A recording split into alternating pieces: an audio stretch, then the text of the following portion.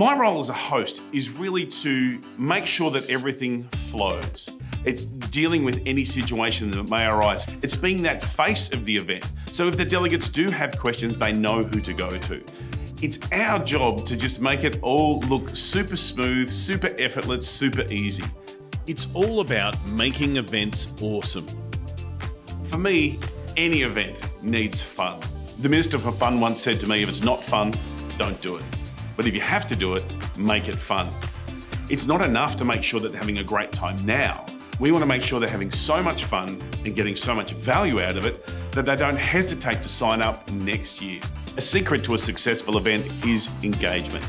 So a great host will really build the energy and continue it on throughout the course of the event, both on and off the stage. The things that our delegates remember the most about events is, of course, their own experience. So how do we make their experience far better? I've been fortunate enough to be able to get some of the audience turned into a choir, having them having snapshot photos with Elvis, Dame Edna, or even the Mad Hatter, making it so that there's something unique and special about what's going on makes it far more memorable. So often conference organisers are asked, has that event been successful? I like the three R's, return on objective, return on investment, and return on energy. What are we trying to achieve with this event? One of the indicators I like to use is how many people are booking for next year's event at this one.